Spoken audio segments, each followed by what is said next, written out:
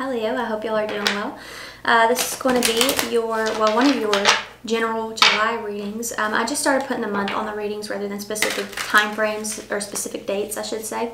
Uh, it just felt right to me, so that's what we're doing here, Leo, okay? Uh, any information you need, you can find it in the description box down below. I do not have personals open right now, so if you're going down there for that information, I don't have them open right now. Uh, you can join me over on Patreon, though, if you'd like. Um, I do offer additional content over there for each sign. Uh, I also read on TikTok, okay? So if you're interested in, um, you know, following me over there, there's a link down below to my TikTok page. And of course, if you're interested in learning the tarot, um, I have a course and you can purchase that course. Information is down below, okay? Interesting already here, Leo. Ooh, I like that. I like it a lot. Don't like that. Okay, let me see what's going on here. You have the Wheel of Fortune as your overall energy though, so I like that that's showing up as your overall because uh, that's telling me that, you know, despite some of these energies here being heavy, things are going to turn around for the better for you, okay? Um, you do have the Four of Cups as your first card out here. Some of you could be feeling unappreciated or avoided. Um, you know, you're just in a little bit of, of funk about something here that I feel you're not receiving or somebody's not receiving you very well. Uh, somebody could have moon and uh, their moon in Cancer. What's going on with the Four Cups? Some of you, you keep feeling like one step forward, two steps back. It's like, well, I made progress here, but now, you know, now this happened, right? What is that about? What's that about? King of Swords. It's about a person. You got a court card here. It's about a person. Uh, this could be an Aquarius, okay? Um, Gemini, Libra, Virgo, Capricorn, Queen of Pentacles, more Capricorn energy, and Page of Cups. Okay, lots of court cards here. Uh, some of you just keep feeling like you're moving backwards with a person, like you move forward a little bit and then you move back. Like somebody keeps investing basically is how this feels and then they're uninvested. Like that's, it's a, it's a weird energy. Seems like maybe there's a conversation that takes place. You're like, I don't really like this. I would like it if this could change or, you know, this is what I need. So can you give that to me or not? And then it's given to you for a little while and then it's back to the square one, you know? He's sitting at the trunk of that tree there. It's back to the beginning, um, you know, and there's this cold energy about a person, okay? Whether this has to do with how they're speaking to you or how they're not speaking to you, or maybe it has to do with how affectionate they are. Uh, maybe it has to do with their lack of emotional intelligence with the Page of Cups here. Um, you know there's there's a lot of reasons that you could be feeling neglected by this person but basically i think you're feeling neglected seven of cups. Yeah you're feeling like somebody's not seeing or hearing you. Five of swords. It's putting you in your head. For a lot of you maybe easier to end this. I feel like it's something that could just keep uh, getting worse here okay? I think a person only changes for so long basically all right? And you don't want to have to keep begging for what it is that you need. So uh, yeah I, I think for some of you, you may end up going your separate ways here. You have the page of swords Air, Gemini, Libra, Aquarius. The Hangman, Pisces energy. The Fool, Aquarian energy. And the Nine of uh, Wands. I don't know why I was going to say Swords. Um, the Nine of Wands here, some of you, you could be a Sagittarius moon, but you don't have to be. Um, but, you know, the Page of Swords can be somebody who's very curious, observant, like uh, studying something basically, but there, it does, uh, you know, it can represent like a hesitancy. And you do have the hangman here, which can be a little bit of like stagnancy, but there's also, you're, you're sacrificing yourself basically uh, in the process here. I think you're hesitant to take a leap towards something new. Like you feel that something's on its way out the door. You have the Nine of Wands here. Like it's been wrapping up for a while now. And I think that, um, you know, you're just kind of watching it play out. And I think that you're waiting for something that can only be done by you, you know? Um, so yeah, that's an issue. I think you're sacrificing yourself. You're sacrificing a lot of new opportunities by staying in a situation that's not moving or by trying to force something, uh, you know, that's resisting you. Okay, there's something out there that will just give instantly. All right, so yeah, keep that in mind. You know, what you want is out there. You don't have to try to fix what's right in front of you. You have the uh, Justice card here, Libra energy. Going with Justice? Judgment. Okay. so we have Scorpio and Aries here with uh, Judgment showing up. Knight of Wands, Sagittarius energy. And the Magician, okay. Okay. Uh, for a lot of you here, I also feel as if, um, you know, there's something that you're, that you're feeling called to do. uh, basically here, Leo. Like there's something that you're feeling drawn to. Some of you, you could have had to do something um, because it was what's available. So this could be a job. Maybe you had to take a job because like, well, that's what's available to me. What's going on here? but you don't feel called to it, you don't feel connected to it. I think that could be creating a lot of chaos in your life. And I think in the month of July, you're going to be realizing that three of wands, you're going to be looking at your other options here basically. Somebody could be an Aries sun with some Leo's play, uh, Leo placements watching this but basically the magician showing up here, like you're analyzing your skills. You're like, what am I good at? Or you're looking around at, you know, maybe things in your home and you're like, how can I use these things, you know, to create something that I feel a connection to, right? Uh, some of you, you may have a passion for music or you may have a passion for art. You know, there's something here that you just feel more drawn to, okay? So you're like, I'm going to strengthen that skill. As a matter of fact, I'm going to strengthen that skill and I'm going to use this instead of, you know, doing something all the time that I'm not connected to.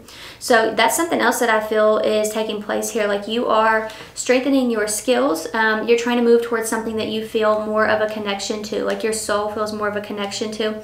Others of you, it's like you're trying to move towards something that's genuinely going to give back to you. Some of you are moving away from a um, Virgo or a Gemini. But yeah, with justice showing up here, that's balance, okay? It's like what I put in, I'm receiving back, right? So I think a lot of you, there's this realization that you have to release something here. Um, you have to release something. You have the Fool, Aquarian energy. What's going on with the Fool? Ten of Wands. That's carrying a burden, Four of Pentacles, clutching onto something here. Like I said, I, I, you know, there was this like desperation in the beginning of the reading and that Four of Cups energy. Like, well, why does it keep changing? And then it goes back to the way that it was, right? That's what you're letting go of because that Fool card is like liberation. Like I, I, can start fresh right? And that ten of wands energy like that's what you're shedding there is this burden. Um, you know just putting in all this work this inconsistency this you know power struggle whatever the case may be here this four of pentacles. Like you try to hold on to that forever. And once you take the sleep you're like gosh, why didn't I do that sooner? You know, uh, it's like there's this big shift that takes place for you. Um, and that's why the Wheel of Fortune is your overall energy because that's a shift for the better. You have the Eight of Wands here. There could be a lot of messages coming in for some of you. What's going on with that? Five of Cups, okay. Mars and Scorpio. Ten of Pentacles. Some of you, there could be people who are a little bit disappointed with the decision you're making, whether that's to walk away from a job that's not fulfilling you or a person that's not fulfilling you. There could be people here who just feel like, oh my gosh, well, why didn't you just try it? Why didn't you just stay there until XYZ? Or why didn't you just try to work it out, right? Like you did. You did. Um, for those of you where it's a job, it's like uh, you had no, you, you didn't feel connected to it anymore, okay? So I don't know why people are inserting themselves in your business or uh, furthermore, why they feel like it's okay, but they, they do, okay? And that's something that's going on on here. Uh, yeah, you have the Emperor, Aries energy. This could also be a boss who's just a little bit disappointed that you're uh, leaving a situation, like leaving a job or something of that nature. Like somebody really for the most part is just they, they don't want to take over what it is that you that you did here. Uh, for some of you it's that. For others of you like you genuinely added value to a place. They don't want to see you go. But you know i do feel as if it's it's for the best and they understand why you're doing it. Some of you you're building something for yourself here. Um, that can be a little bit draining you know? Uh, watch how much you are like pace yourself is what i feel like saying. Eight of wands is fast movement.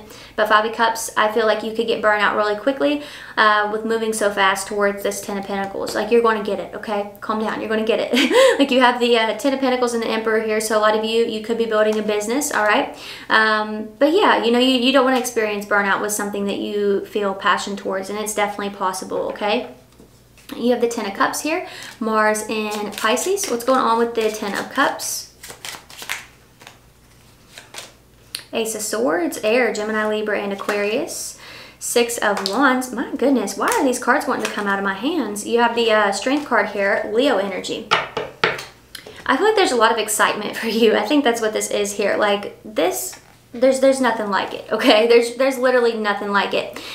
You have the Ten of Pentacles here. You have the Ten of Cups. You have the Six of Wands. Like this is victory, success, recognition, okay? Recognition. And remember in the beginning of the reading, you were just not feeling heard? Like that's what I was getting was that you were not feeling heard. Nothing you wanted was working out. And once you release that, things start to fall into place because you have the courage to go towards things now that are going to give back to you. And that's exactly what happens. Some of you, you could be afraid that if you leave a situation, you're not going to find something better or you're not going to be able to create something better. And that's not true. That's not true. Like this is proof of it right here. If you go for it, you know, if you're in that emperor energy and you're determined to create it, you're absolutely absolutely going to have that Ten of Cups and this Six of Wands energy here. Um, so yeah, absolutely. That is success. The Ten of Cups is like however you define happiness, basically. Could be happy home, happy family, but it doesn't have to be, okay? that ace of swords i feel is a, a, mental breakthrough for sure mental breakthrough figuring out like this is what i need to get done okay you have uh, the devil capricorn energy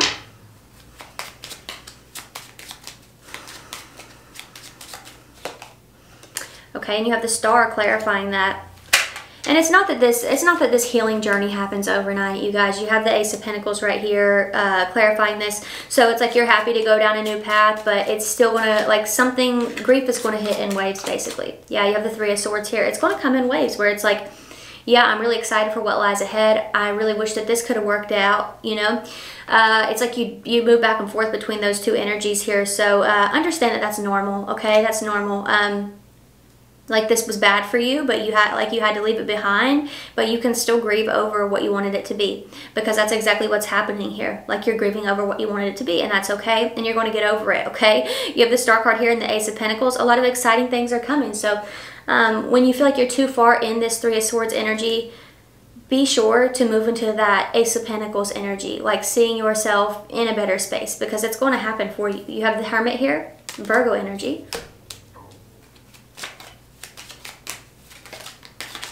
Two of Swords, Moon in Libra. Some of you are shutting a lot of people out. It could be these people who have too many opinions about the changes, the moves you're making here. You have the Three of Pentacles, Mars and Capricorn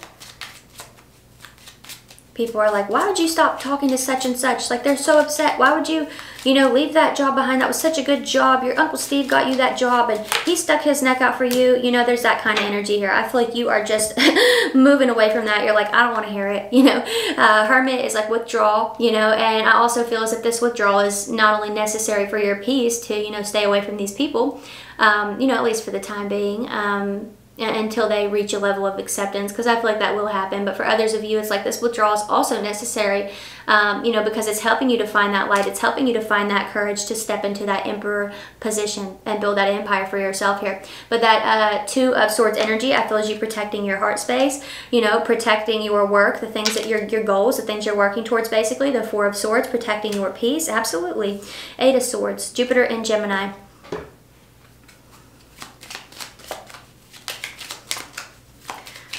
here for Leo with that.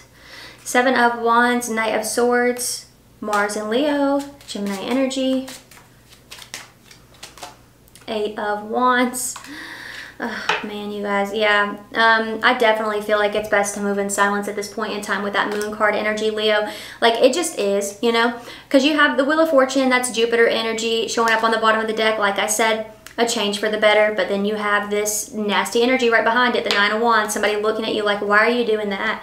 You know, why aren't you playing safe, right? That kind of vibe here. Eight of Swords, it's putting you all in your head. This is a Jupiter card too. This, like, but look at it. it you wouldn't think that it would represent anything uh, close to growth or expansion or good fortune, and that's because she's trapped in her head here, you know? And so I feel like you could be in a space where like if you continue to connect with certain energies, if you don't protect yourself from what it is that they're throwing at you here, I'm not saying this is black magic or anything of that nature, but I do feel, Leo, like people are just throwing toxic energy at you, uh, you know, planting seeds of doubt, planting seeds of fear, basically, um, or guilt even you know and uh, with that eight of swords it's like she could grow and expand uh, because the swords they represent her mind. So all these limits exist within the mind and it's because you're allowing other energies to plant them there. So please be careful with that okay? You have the seven of wands right here. Protect your energy at all costs okay in the month of july. Protect your energy at all costs even if that means that you have to move in silence. The moon can represent hidden things hidden paths. Eight of wands movement if it takes you separating yourself from these individuals in order to get things done, then absolutely do what you have to do, okay? Um, Leo, feel free to watch out for your other signs, okay? Don't forget that I read on TikTok and I read on Patreon. So those links are down below if you're interested. And of course, if you'd like to learn how to read the tarot for yourself, I have a class for that, okay? So all that information is down there as well. But Leo, this is where we part. Thank you all so much for watching and supporting me. I really appreciate you. And uh, I'll see you next time. Bye.